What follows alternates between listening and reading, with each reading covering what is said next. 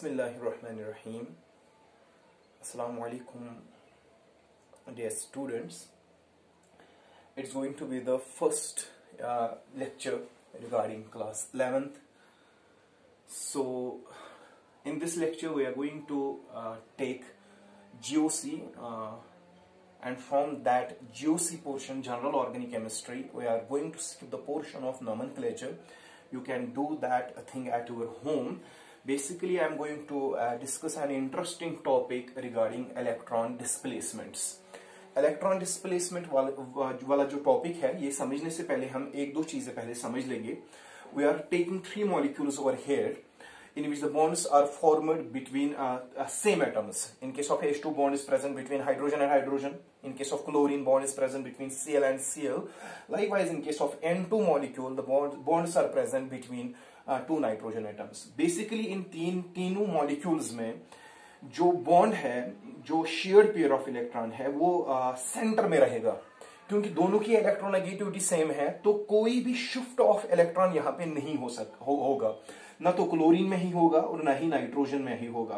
कोई electron displacement जब ना हुआ इन मॉलिक्यूल्स में, उसकी वजह से हम कोई पोलैरिटी एक्सपेक्ट इनमें नहीं करेंगे। यानी कि जब इलेक्ट्रॉन डिस्प्लेसमेंट ही नहीं हुआ, कोई इलेक्ट्रॉन डेफिशिएंट सेंटर या इलेक्ट्रॉन रिच सेंटर क्रिएट ही नहीं हुआ तो कोई पॉजिटिव या नेगेटिव चार्जेस इन मॉलिक्यूल्स में डेवलप होगा ही नहीं। तो because of that reason we call these molecules as non polar molecules non polar molecules However, instead of that, if we are going to take another example, that is the example of this one, CX bond. CX bond में आप देखोगे carbon ने bond बनाई है X के साथ. Suppose if X is more electronegative, if it is more electronegative than carbon, what will happen? This X will withdraw the bond pair of electron towards itself.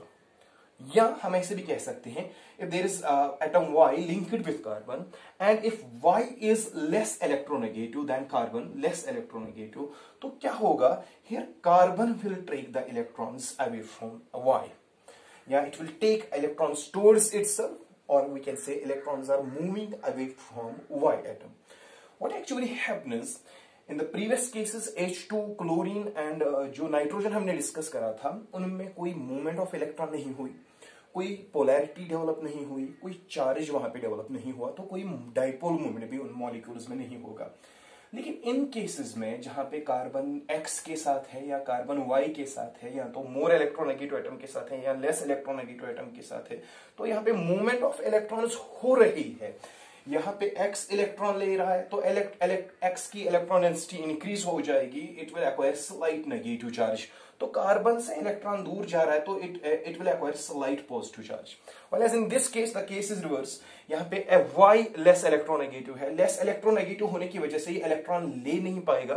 तो instead of that carbon will take the electrons and carbon की electron density increase हो जाएगी and it will acquire slight negative charge and this Y will acquire slight positive charge अब देखें यहाँ पे दोनों cases में नेगेटिव पॉजिटिव डेवलप हो गया. यहाँ पे भी नेगेटिव पॉजिटिव डेवलप हो गया, यानी कि इन बॉन्ड्स में अब बॉन्ड पोलैरिटी डेवलप हो गई है। क्यों? क्योंकि मूवमेंट ऑफ़ इलेक्ट्रॉन हो रही है, या तो एक्स की तरफ़ हो रही है, या तो अवे फ्रॉम वाई हो रही है। दोनों केसेस में जो मूवमेंट ऑफ़ इलेक्ट्रॉन हो जाए, उसकी वजह से जो यहाँ पे चार्जेस डेवलप होते हैं, हम कहते हैं इन जैसी बॉन्ड्स को हम पोलर बॉन्ड्स कहेंगे, या वो सारे मॉलिक्यूल जिनमें ये पोलर बॉन्ड्स रहेंगी, उनको हम कहेंगे polar molecules That means whenever the shift of electron occurs, due to that shift of electrons, what happens? Polarity is induced in the molecule, and that polarity will be in turn responsible for the dipole development of dipole dipole moment of the molecule. Yeah, that explains uh, many properties like solubility, yeah, density of the substances, or the acidic strength, or the basic character of different organic compounds. That is explained on the basis of the polarity, which is developed due to the movement, or we can say electron displacements of the substances. In this unit, that is general organic chemistry, for discussing this electron displacement, we have to see the nature of the molecules. कौन कौन सी molecule वो है जिनमें electron की displacement यानी कि electron की movement होती है। इलेक्ट्रॉन डिस्प्लेसमेंट तभी होती है एक ऑर्गेनिक कंपाउंड में जब हमारे पास कोई ऐसा ग्रुप हो से फॉर द एग्ज़ाम्पल एक्स कोई ऐसा एटम हो, या चाहे चाहे कोई ऐसा ग्रुप हो, जिसकी इलेक्ट्रॉन विड्रॉइंग टेंडेंसी ज़्यादा हो एज कंपेयर टू कार्बन अगर कार्बन या हाइड्रोजन से ज़्यादा इलेक्ट्रॉन डेंसिटी हो इलेक्ट्रॉन एक्स अट्रैक्टिंग टेंडेंसी हो इस एक्स की तो ये इलेक्ट्रॉन कार्बन की अपनी तरफ़ खींचेगा। जब इलेक्ट्रॉन इसने अपनी तरफ़ खींचा हम कहेंगे इलेक्ट्रॉन डिस्प्लेसमेंट हुआ। इलेक्ट्रॉन डिस्प्लेसमेंट हुआ यहाँ पे तो एक्स पे स्लाइट नेगेटिव और इस पॉजिटिव चार्ज यानी कि पोलैरिटी भी डेवलप हो गई। यानी कि one case of electron displacement is that we must be having one atom और one group which is generally having high electron withdrawing power uh, there is another case if there is less electronegative atom or less electronegative uh, uh, group that will donate the electrons uh, yeah, the electrons will be taken away from that group in both the cases electron displacement will take place कहने का मतलब ये है कि electron displacement एक organic compound में तभी होगा जब उसमें कोई ऐसा ग्रुप हो जिसकी इलेक्ट्रॉन अट्रैक्ट करने की टेंडेंसी या ज़्यादा हो लाइक एक्स या कम हो likewise both the cases में इलेक्ट्रॉन डिस्प्लेसमेंट या मूवमेंट ऑफ़ इलेक्ट्रॉन होती ही होती है।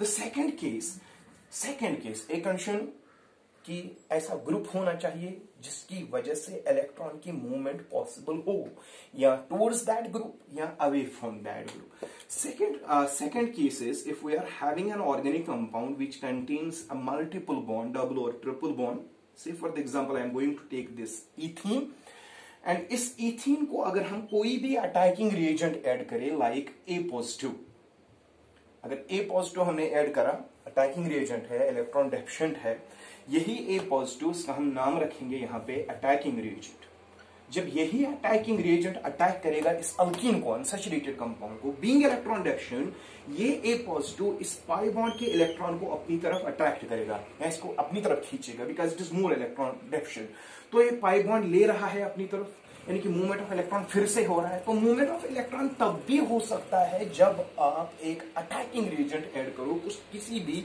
अनसेचुरेटेड कंपाउंड को।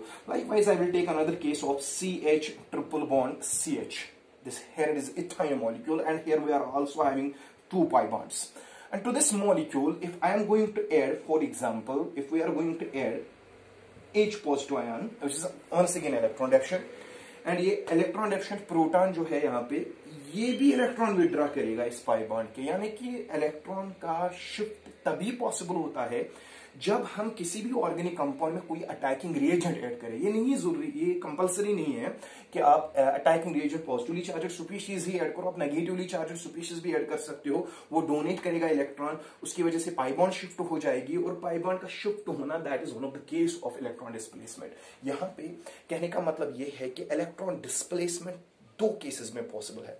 एक तो या तो ऑर्गेनिक कंपाउंड में कोई हाईली इलेक्ट्रॉन विड्रॉइंग एटम या डोनेटिंग एटम प्रेजेंट होना चाहिए, या तो कोई अटैकिंग रिएजेंट हम अनसेचुरेटेड कंपाउंड्स को ऐड करें, उसकी वजह से जो पाइबॉन्ड्स का शिफ्ट होता है या लोन पेयर्स का शिफ्ट हो जाएगा that all those all things the movement of pi bond movement of lone pair taking place under the influence of attacking reagent all these things represent what electron displacement so हम इस unit में electron displacements के कुछ special cases discuss करने जा रहे हैं।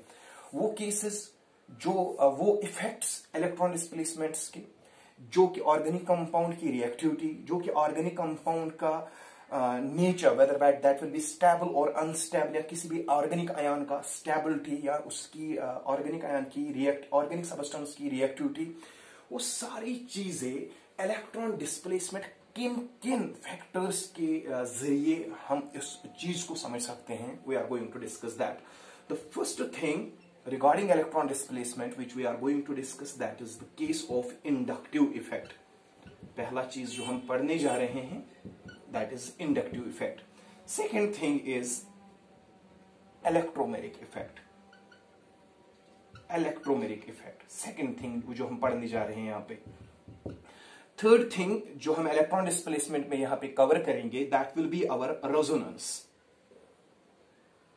resonance के साथ साथ the fourth and most important case of electron displacement that is hyperconjugation hyperconjugation तो थोड़ा सा हम यहाँ पे एलिमेंट्री आइडिया ले लेते हैं इंडक्टिव इफ़ेक्ट का ताकि हमें समझ आ जाए। We have to keep in mind the speed of internet is not so good. So we are going to uh, elementary idea regarding all of these effects in detail. Suppose inductive effect है क्या? जैसे अभी हमने कहा था, जब same atoms के बीच में बॉन्ड बनी हो तो कोई चार्जेस डेवलप नहीं होते हैं। तो उस टाइम हम कहते हैं कि ऑर्गेनिक कंपाउंड नॉन पोलर है। उसमें जो बॉन्ड्स बनी है, वो भी नॉन पोलर है। लेकिन हमने यहाँ पे एक केस लिया था अभी सी एक्स का case X was more electronegative than carbon और इस कार्बन के साथ हम और एक कार्बन लेंगे, और एक कार्बन यहाँ पे लेंगे, और एक कार्बन हम यहाँ पे लेंगे। See what the inductive effect actually is अगर यहाँ पे एक्स मोर इलेक्ट्रोनेगेटिव है तो ये कार्बन के इलेक्ट्रॉन्स को अपनी तरफ़ अट्रैक्ट करेगा। जो ही ये अट्रैक्ट करेगा इलेक्ट्रॉन्स को तो इस पर डेवलप हो जाएगा स्लाइट नेगेटिव चार्ज तो कार्बन पे ऑब्वियसली लॉस हुआ। इसको लॉस हुआ स्लाइटली लॉस हुआ इलेक्ट्रॉन तो इस पे आ जाएगा स्लाइट पॉजिटिव चार्ज अभी थोड़ा सा इलेक्ट्रॉन एक्शन बन गया ये इस कार्बन के इलेक्ट्रॉन विड्रा करेगा इस पे भी आ जाएगा स्लाइट पॉजिटिव डैश तो ये भी इलेक्ट्रॉन डायरेक्शन बन गया तो ये इसके इलेक्ट्रॉन अपनी तरफ़ खींचेगा तो इस पे आ जाएगा स्लाइट पॉजिटिव डबल डैश हम लिख लेते हैं। तो लाइक लाइकवाइज इसके इलेक्ट्रॉन अपनी तरफ़ खींचेगा इस पे आ जाएगा slight positive triple dash what actually happens we are having one atom with, which withdraws the electron towards itself and due to the uh, due to that thing positive charges created in the on the carbon यानी कि bond polarity develop हो जाती है।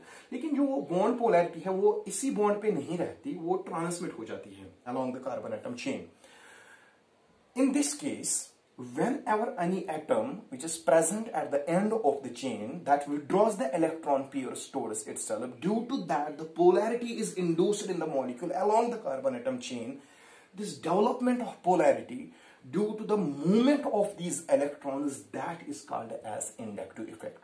Inductive effect वो चीज़ है जिसमें एक ग्रुप किसी टर्मिनल पे हो, वो इलेक्ट्रॉन या तो अपनी तरफ़ खींचे या वो डोनेट करे इलेक्ट्रॉन उसकी वजह से जो बॉन्ड पोलैरिटी मॉलिक्यूल में डेवलप हो जाती है that thing is called as inductive effect यहाँ पे हमें दो तीन चीज़ें याद रखनी है। First thing inductive effect is a permanent effect ये परमानेंट इफ़ेक्ट है। क्यों? क्योंकि जब तक यहाँ पे ये एक्स है, तब तक ये पोलैरिटी रहेगी ही रहेगी।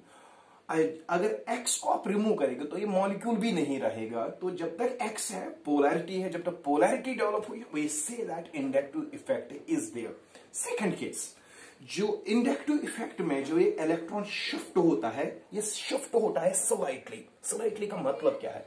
इलेक्ट्रॉन एक्स की तरफ़ तो गया। लेकिन किसके इलेक्ट्रॉन कार्बन के। वो इलेक्ट्रॉन कार्बन के वैलेंस शेल से बाहर नहीं निकलता है, बल्कि वो स्लाइटली शिफ्ट होता है towards more electronegative atom that is the second important point regarding inductive effect so we can say inductive effect is the permanent effect due to which the polarity is developed in the molecule this polarity is developed due to the presence of highly electronegative atom present at the end of the chain. And इसी inductive effect की वजह से जो ये polarity यहाँ पे develop हुई, वही पोलैरिटी रिस्पॉन्सिबल है for the development of the dipole movement of the molecule तो वही डाइपोल मूवमेंट इस मॉलिक्यूल की फिर सॉलिबिलिटी डिसाइड करेगा। इस मॉलिक्यूल की डेंसिटी डिसाइड uh, करेगा। इस मॉलिक्यूल का मेल्टिंग पॉइंट बॉइलिंग पॉइंट वही डिसाइड uh, करेगा। इस मॉलिक्यूल की सारी रिएक्टिविटी वो सारी इसी पोलैरिटी पे डेवलप करेगी, जो कि इस इंडक्टिव इफ़ेक्ट की वजह से इस पे डेवलप हुई। So tomorrow in another lecture we are going to discuss this inductive effect briefly we are going to discuss its application and what are its types positive inductive effect क्या है? Negative inductive effect क्या है? वो चीज़ें हम अलग से lecture में डिस्कस करेंगे because you know that speed uh, less and uh, we are not uh, able to upload the videos of, of large lengths. So जब तक हम अगला यूनिट अपलोड करें तब तक आप एक चीज़ करिएगा इस यूनिट को अपनी बुक्स में से अच्छे से देख के अच्छे से स्टडी करके, जो भी क्वेश्चन आपको हो, वो मुझे टेक्स्ट कीजिएगा। I will try to answer all those question still then खुदा हाफिज़।